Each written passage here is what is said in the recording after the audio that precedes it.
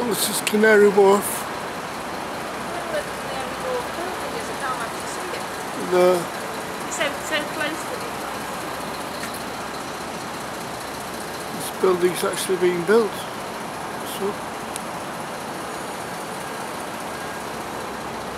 and there's the dome, the leaded dome.